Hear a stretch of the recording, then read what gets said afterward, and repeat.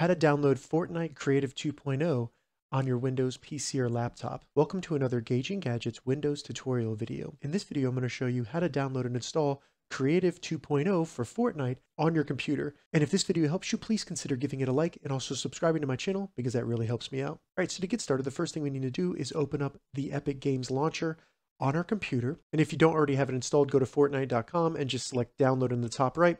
You can also check the description because I'll have a tutorial on how to do that down there. Once you have the Epic Games Launcher open on your computer, simply select Store in the left sidebar and then go to Search and just search Fortnite. Once Fortnite comes up, you'll see Unreal Editor for Fortnite and it's free. Select that. This will load the Unreal Editor for Fortnite within the Epic Games Launcher. Simply scroll down and select Get.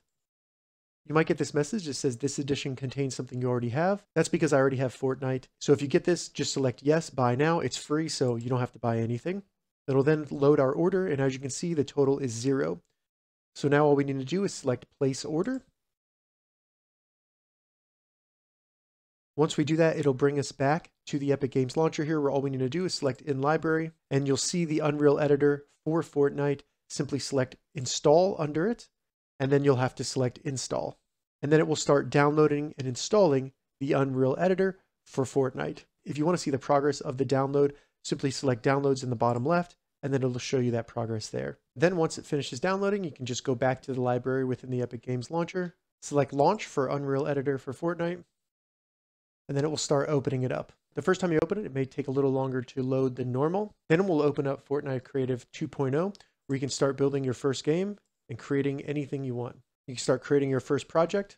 And then as you can see, I'm now within the Unreal Editor for Fortnite. All right, so that's how you download and install Fortnite Creative 2.0 on a Windows PC or laptop. If you have any questions about this, leave a comment below. I'll get back to you as soon as I can. If you'd like to see more Fortnite tips and tutorials, check the links in the description. If this video helped you, give it a thumbs up, and please consider subscribing to my channel, Gauging Gadgets, for more gadget reviews and tech tutorials. Thank you so much for watching.